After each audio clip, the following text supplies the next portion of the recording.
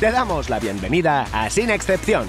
Cada semana, contigo, el único videocast dedicado a las personas con diversidad funcional, deporte inclusivo, envejecimiento activo y bienestar universal. Para todo el mundo, sin excepción. Y ahora sí, aquí tienes a tu host, Joan Rodríguez.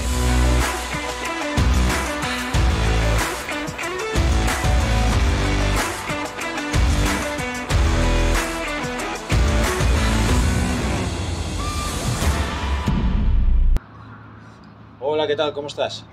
Hoy nos ves en un sitio diferente. Por cuestiones del directo, pues no podemos estar en directo y estamos aquí, ya sabes, en Fit Inclusive y te traemos un tema eh, pues que creo que es muy interesante y además, como no, con un experto como Chano, que ya lo, lo conoces. Eh, y hoy vamos a hablar del deporte paralímpico, de cómo ha ido cambiando, de, de cómo ha cambiado no solo el deporte paralímpico, sino las todo lo que lo rodea, cómo los deportistas han ido, evolucionando también. Y yo creo que hay alguien todavía que no se ha suscrito al canal. Pero bueno, suscríbete y vamos a hablar con Chano a ver qué nos cuenta. Pues bueno, antes que nada lo presentaremos. Yo creo que ya sabes que como siempre buscamos expertos y más experto que en Juegos Paralímpicos eh, Chano, pues no hay nadie que haya participado más que tú, ¿no? En seis Juegos ahora mismo en España. No, hay un, hay un par de compañeros ¿Sí? que sí, que han estado también en ¿Y juego. están en activo o...? Sí, esos están en Ah, activo, sí, sí. Sí, no están en activo, los que no están en activo ya no cuentan. Muy bien. Pues bueno, sí, seis juegos desde Sydney, ha ido pasando por todos. Y entonces vamos a, nos va a contar pues, su experiencia desde los primeros juegos y todos estos cambios que ha ido sufriendo, sufriendo el, el deporte. ¿no? Eh, nada, antes que nada, pues, ¿cómo es tu, de repente decides empezar a nadar, ¿no? Y enseguida haces eh, mínimas para ir a juegos, ¿cómo funciona esto al principio de todo? Eh, no. Al No principio, fácil, no, no, no es tan fácil. Al principio, cuando yo me, me empecé a conocer el mundo del deporte adaptado, empecé en el básquet con el Club Anfib. Y de aquella estaba Pablo Veiro, que ya no está con nosotros, y yo le insistía muchísimo que yo quería nadar. ¿Por qué? Porque yo he nacido en Cádiz y, y mi, mi parque de infancia donde jugábamos era la playa. O sea, el agua y yo siempre hemos estado muy, muy unidos.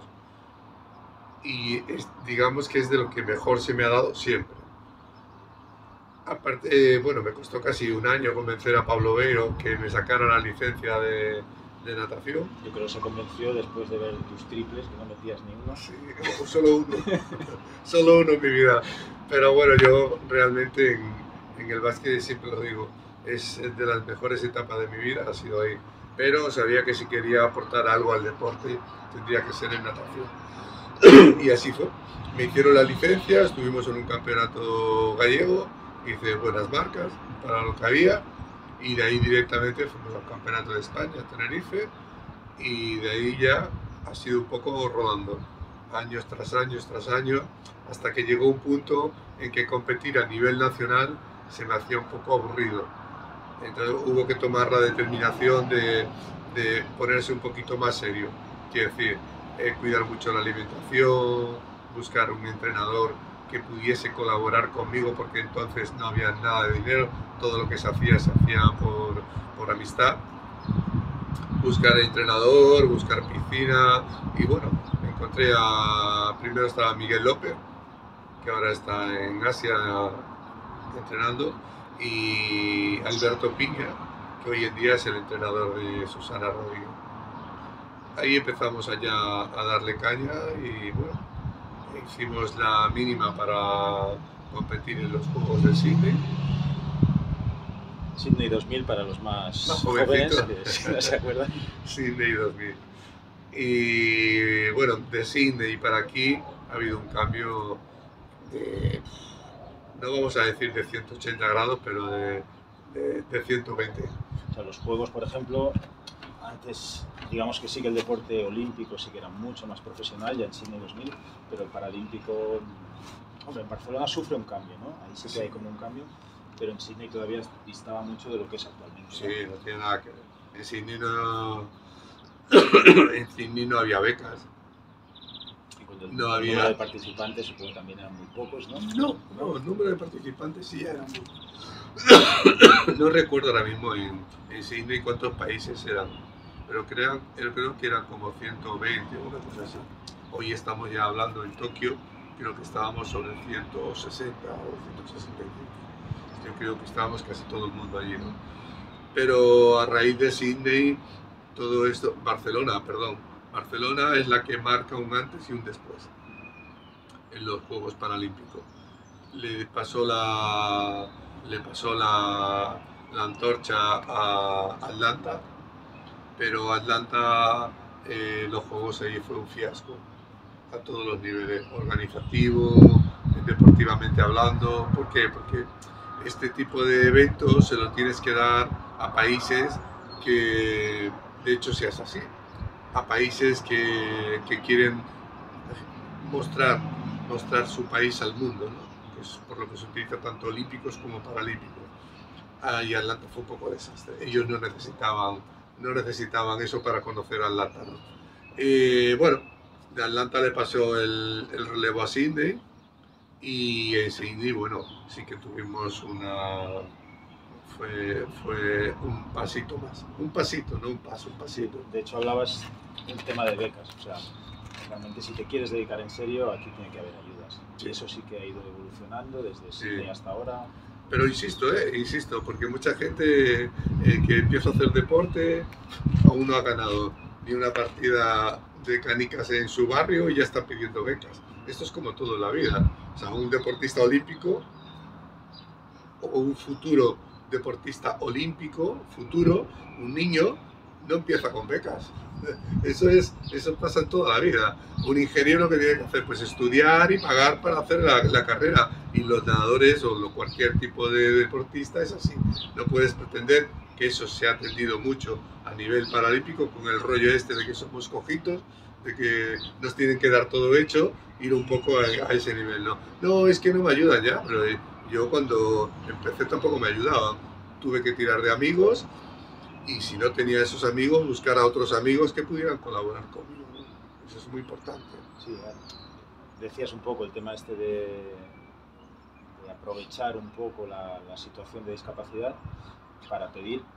A veces se exagera eso en crear un reto y lo que tú dices, ha ganado una carrera del pueblo y ya se vende como si fuese Michael Phelps o, Sí, bueno, o el que sea, ¿no? eso, eso sí que yo lo he criticado mucho en, en compañeros que, que no, no le- no- yo digo, no, tenemos, no le vamos a restar valor a cualquier cosa que hagamos, pero tampoco tendremos, tenemos que sobrevalorarlo.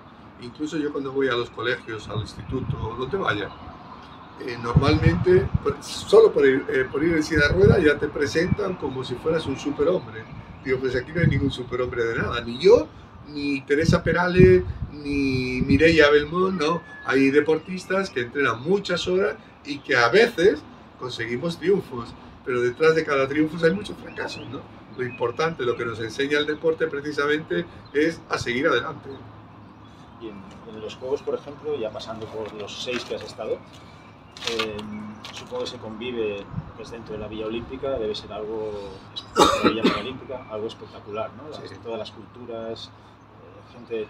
Sí, yo ahora, ahora cuando hemos estado en Tokio, a los compañeros que, que eran sus primeros juegos, sí que me dio mucha pena que, que no hayan podido, por el tema de la pandemia, no, no había ese ambiente que hay nor- normalmente en los juegos. Cuando nosotros vamos a, a los juegos, cuando estamos en la Villa Olímpica, generalmente se va, depende del país, de las horas de vuelo, se va una semana o dos semanas antes de la competición. Y los primeros días es un, fluir de gente. Hoy comes con, con uno de Zimbabue, eh, mañana cenas con otro de, de Alaska. O sea, se- yo siempre lo he hecho así, ¿eh? y no hablo inglés, pero lo he hecho siempre así. Es una fluye y te das cuenta de que el mundo, eh, o sea, pierdes o ganas la visión de que, de que el mundo no solamente eres tú, que, que es tan diverso, que es tan grande, que es la cultura y eso es lo más importante de los juegos. Claro, y en Tokio ha sido un poco con el tema, el tema el del tema COVID. del COVID. El tema del COVID, eso no, no se ha podido vivir, no ha habido la fiesta, porque en la Villa Olímpica hay fiesta eh, antes y después, hay teatro, hay conciertos, hay mucha vida en la, mucha vida en la calle en este aspecto en, en Tokio, a pesar de que no ha estado mal, dada la circunstancia, ha habido ese ambiente. De hecho, yo fui a la inauguración, fui a la inauguración y me cayó el alma al, al suelo, porque yo estaba acostumbrado a cuando haces el pasillo, cuando sabes que vas a salir en, en fila con todos los compañeros, cuando traspasas la puerta que te da paso al estadio, fue algo, mira, esto lo estoy contando, se me fue el pelo de punta, fue algo horrible, porque a pesar de la música y todo, como nosotros habíamos vivido, yo he vivido otros cinco juegos, llegar allí y ver ese silencio de gente, porque sí, había música, pero tú cuando entras al estadio olímpico paralímpico, cuando entras, eso es un bullicio de voces, de gritos, de rugido, y eso es algo que, que te pone mucho, ¿no? En este caso no, no ha sido así. Y ya eh, enlazando un poco con, lo, con el tema de esta charla, por ejemplo, Sydney. Cuando nosotros llegamos a Sydney flipamos. Flipamos, ¿por qué? Porque era la primera vez que, que yo iba paseando por Sydney y veía eh, vallas publicitarias con una chica o un chico en silla de rueda, pues anunciando una raqueta, o, un chico o una chica con, le faltaba una pierna, anunciando la prótesis. Eso aquí era inconcebible. Tan inconcebible que en aquella época recuerdo que, que, bueno, lo voy a decir, había una marca de leche, Pascual, que el, Comité Paralímpico fue a pedirle patrocinio porque era patrocinador del equipo olímpico y con todo santo morro dijo que no dábamos imagen, que no dábamos imagen. ¿no? Y cuando llegamos a Australia vimos eso y hostia, no damos imagen. No, de hecho hay muchos problemas, bueno, problemas no, pero esto con marcas que deciden invertir en todos los deportistas olímpicos, pero al equipo paralímpico pues Sí, sí, no, muchísimo. les dan otra marca. Sí, sí, ahí, ahí, ahí tengo que... Ya sabes que podemos decir nombres, Sí, sí. No, ahí, ahí, ahí sí que puedo eh, romper una lanza a favor de. En ese momento estaba Izabeski, eh, estaba el PSOE y, y cuando llegamos de Atenas, ya en mismo Atenas, en las reuniones esas que tenemos informales con los ministros, con el presidente, con los deportistas, eh, nos quejábamos eso. Yo recuerdo cuando cogí la primera medalla que estaba allí Zabeski, eh, no me acuerdo, había otro ministro. Eh, y dijo, qué bonita, no sé qué, ¿te gusta? Sí, sí, sí, sí, es preciosa, no sé qué. Y digo, bueno, pues esta me la he pagado yo. Y los tíos alucinando, y ya estaban los del comité, estaban un poco ya nerviosos a ver qué decía. Digo, no, no, esta me la he pagado yo. Yo he pagado viaje, concentraciones, nutrición, fisio. Espero que para la próxima una parte la pongáis vosotros. Te prometemos que cuando lleguemos a España esto va a ser así. Se va a crear el plan Y se hizo. Algunos meses y se hizo. Y más aún, cuando se puso en, marcha el plan ADO, ninguna empresa quería. Ninguna empresa quería. Tuvo que coger el ministro el teléfono y decirle a Pascual, a todos, ¿eh? decirle si quieres eh, patrocinar el equipo olímpico, tienes que poner una parte en el paralímpico. Y así fue como empezó a ponerse en marcha el- el- todo el sistema económico que ahora mismo tiene el- los Juegos Paralímpicos. ¿no? Y también la evolución mediática que hemos tenido a nivel, a nivel mundial. Quiero decir, cuando yo empecé no existía Internet. Entonces solo dependíamos de televisión española. Y televisión española que hacía, sacaba dos minutos a las dos de la mañana. Hoy pones internet y se han tenido que fastidiar porque les quita audiencia. Y en eso también igual estamos en el otro extremo, ¿no? Lo que hablábamos antes, que gracias a las redes sociales eh, a veces se les da mucho más bombo por todo lo que rodea a una persona que no tanto por sus méritos deportivos, Bueno, eso es algo que que igual las marcas les interesan. pero- Sí, bueno, eso es algo que, que va en la conciencia de cada uno. Tú y yo hemos hablado muchas veces de personas que están deportistas, que yo conozco, que tú conoces, que, que es eso, que sus méritos deportivos no son tampoco para tirar cohetes, son normalitos y sin embargo se venden como si fueran el Michael Phelps. Y yo siempre digo, Michael Phelps, hay uno, no hay más. ¿eh? Es muy importante eso. Y yo creo que eso juega en, en, contra, nuestra. En contra de, esos, de esa persona, por supuesto. Al final, eso le, le pasa factura. Y en contra nuestra, más todavía, porque si cualquier chaval con cualquier tipo de discapacidad que, que quiera empezar eh, y tú, tú, tú, ah, tú nos pones como si fuéramos superhéroes, o- el chaval, folló, ya ni se, ya ni se, ni, ni se tira al agua, dice, "Fua, yo nunca voy a llegar ahí. ¿no? Por eso yo creo que hay que quitarle hierro. Sí es importante decirle a las personas que, sobre todo tanto niños como no tan niños, que para llegar a algo, no solo en, la- en el deporte, sino yo creo que en la vida, que es constancia, compromiso y esfuerzo, que nada te va a regalar. Nadie me ha regalado a mí las medallas que tengo, ni a Teresa, ni a Miguel Duque, a nadie. Y a nivel de, ahora mismo, en temas de igualdad, eh, ¿crees que estamos a nivel de becas es parecido el deporte olímpico que el paralímpico, más o menos? Bueno, ahora está, están estudiando el nuevo plan ADO. El nuevo plan ADO eh, y quieren, digamos, que asimilarlo lo máximo posible al, al plan olímpico. También es normal. ¿Por qué? Porque el deporte nuestro, cuando yo empecé, eh, poco menos que si te tirabas al agua y no te ahogabas, quedabas campeón de España. Hoy tú lo sabes bien, que para hacer una mínima para un campeonato del mundo o, para, o para unos juegos, estamos hablando de, de décimas, de centésimas de segundo. Entonces ya las medallas que ganamos los paralímpicos no son 50.000 medallas, ¿eh? las medallas van bajando. Eso permite que nos podamos igualar económicamente a, a los olímpicos. Sí, siempre ha habido una cuestión de número, ¿no? Si cuando tú empezaste pues había pocos, pocas personas con discapacidad que hacían deporte, entonces era más fácil conseguir. Ahora realmente el nivel en muchas pruebas es muy complicado. eh, también es complicado el tema de, de las categorías, ¿no? De las valoraciones. Como, Sí, bueno, aquí ha habido, para mi entender, y yo creo que comparte mucha gente este tema, eh, hubo- había que hacer un cambio y dentro del Comité Paralímpico Internacional se hicieron una serie de valoraciones, de estudios, para hacer una nueva clasificación de todos los juegos, para intentar ser lo más justo posible en todos los en deportes, todos los eso. deportes, sí. ¿Qué pasa? Que ahí entre ellos no se pusieron de acuerdo. Y en vez de hacerlo de una forma paulatina, cogieron y cortaron por la mitad. Por ejemplo, yo antes peleaba por medallas, ahora ya peleo por entrar en una final. ¿Por qué? Porque la gente que estaba en una categoría superior la han bajado a la mía. ¿Es justo o no es justo? Eso, yo ahí no voy a entrar son las normas que hay. son las normas que hay. Pero eso lo tenían que haber hecho de una forma más paulatina.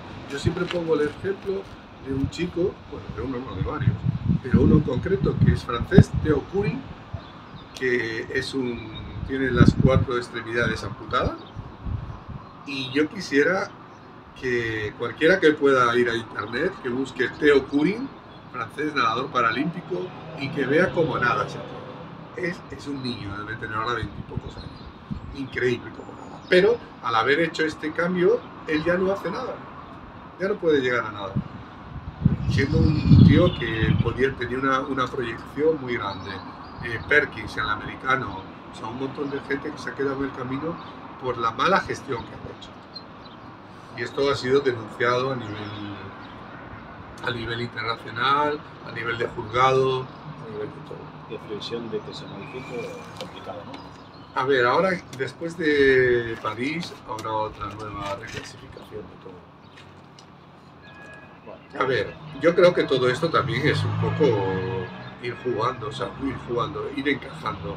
Lo que antes era una cosa anecdótica, hoy estamos hablando de millones de euros. Antes eran 200.000 pesetas.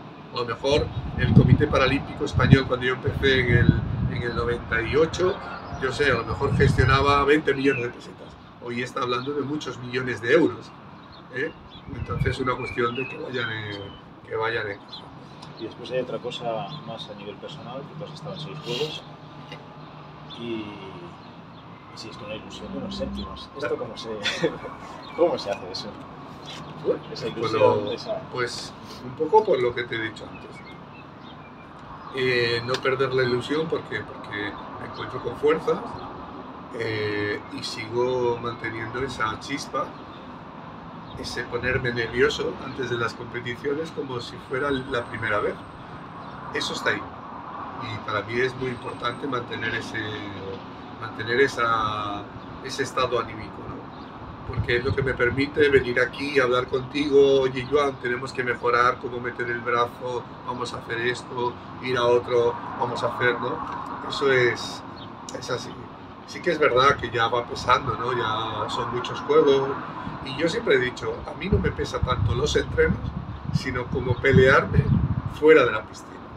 Porque eso tú me conoces ya muchos años y como yo somos muchos los compañeros que nos tenemos que pelear constantemente eh, porque claro, todo es, a todo el mundo le gusta hacerse la foto con la medalla, pero la medalla se consigue con esfuerzo, pero también con un esfuerzo económico. Sí, pues estábamos hablando de, igualdad, pero si hubiese algún deportista olímpico que tuviese ocho medallas de oro, de oro en Juegos, estoy seguro que no tendría los problemas inconvenientes para entrenar que tienes tú. Bueno, es una piscina de 25, ahora cambia de sitio, ahora el otro, ahora cierra. Ahora vete a Madrid, sí, sí, eso es así. Sí que es verdad que sería así.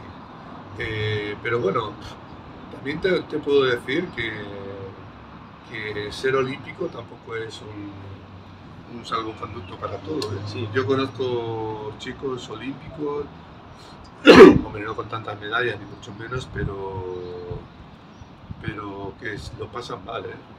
Lo pasan mal. ¿Por qué? Porque para llegar, eh, para llegar a, a, donde llegan, dejan atrás muchísimas cosas. No tienen amigos. a nivel personal. No tienen amigos. ¿Por qué? Porque generalmente están en la, en, la Blume o en el CAR de San Cugat, están aislados prácticamente. Y los amigos que tienen son todos deportistas, pero deportistas y cada uno es de, es de su sitio. Cuando ese chaval se va para su casa, se encuentra que llega allí primero rompe con todo el sistema que tenía y luego no, no es nadie, ¿no? Y eso es muy, muy, muy complicado. Mira, yo ahora, el mes pasado estuve entrenando en, en San Cugat y eso ya es una crítica a, nuestro sistema, ¿no? A cómo somos los españoles. Miré, miré a Mireia Belmonte, que, así, que es la hostia la tía, que es la hostia la tía, pero ya está, como no cogió medalla en Tokio, ya parece que no vale nada. Es increíble. no se lo dije a ella, pues, vamos, tengo una relación, la conozco desde que era una niña, pero me dio esa sensación diciendo, huevos. Antes llevaba un séquito detrás suya, nutricionista, y ahora tú llegas a, a San Cuba y es ella está como uno más, que es como tendría que ser.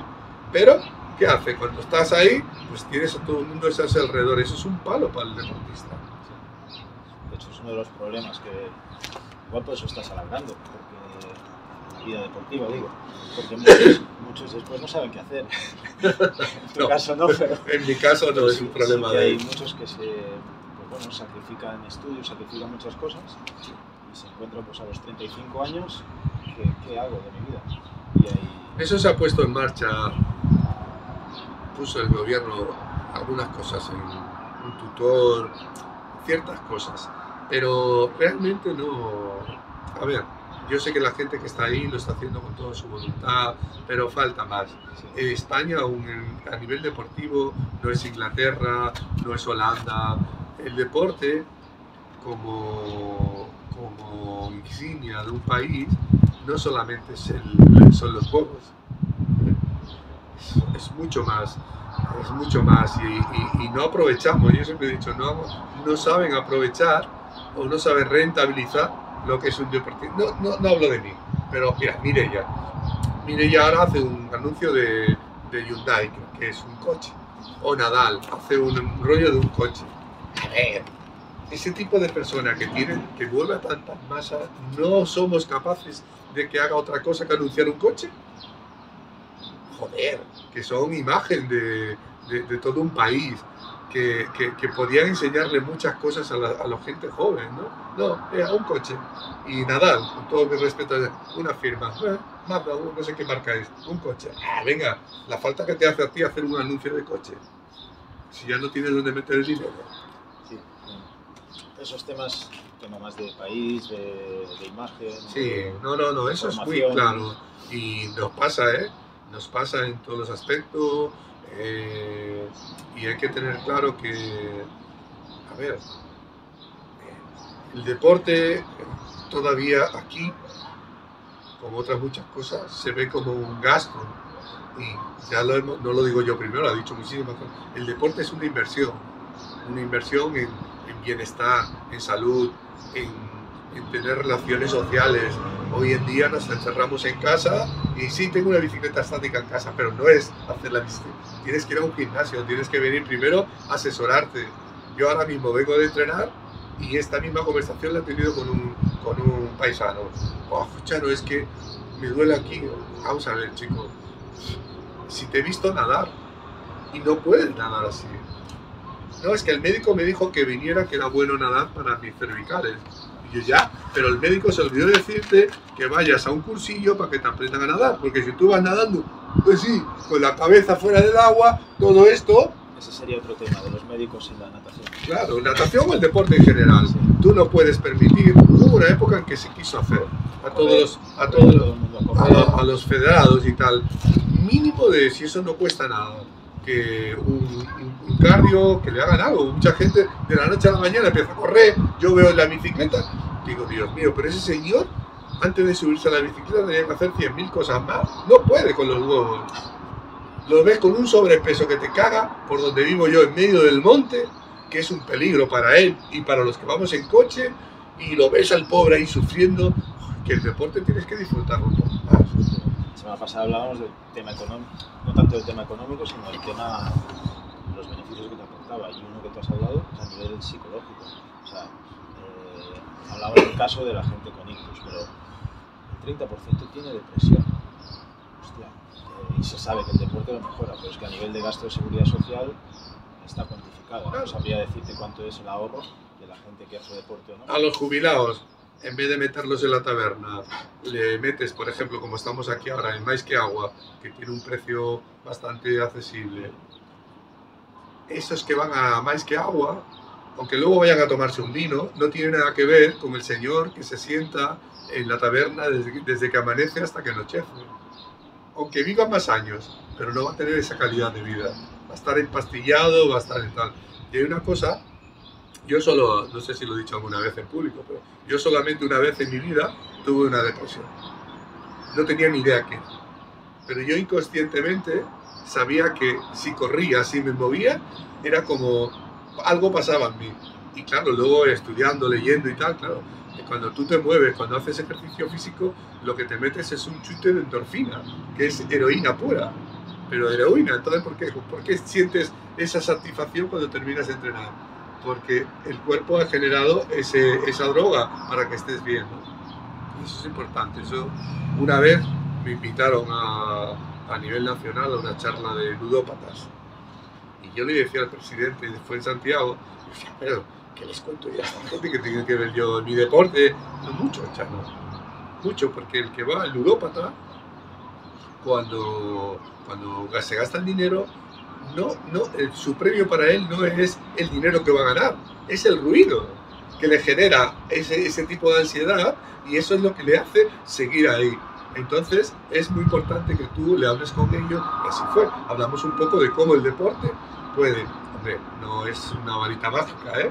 pero con, con, con, esfuerzo, esa, esa, sensación de bienestar que ellos sacan, eh, sacan así, pues haciendo tenis, lo que es cualquier deporte muy bien.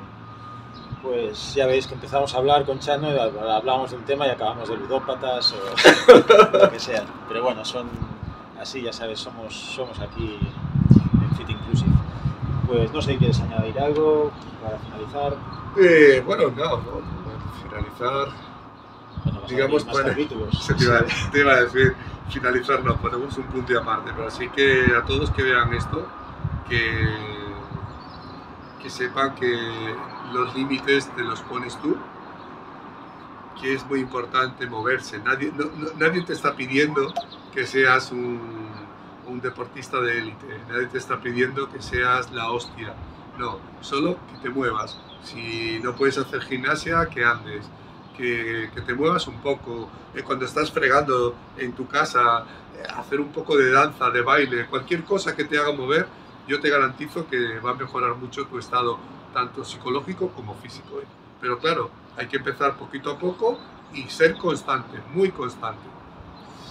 Muy bien, pues aquí lo dejamos con este consejo de Chano. Eh, nosotros te vemos la semana que viene. Agradecerle a Chano que haya estado aquí en este set de rodaje que hemos montado hoy, así más, más casero. Y la semana que viene, sí, ya en directo, te esperamos y te vemos aquí. Un saludo muy grande. Hasta luego. Chao.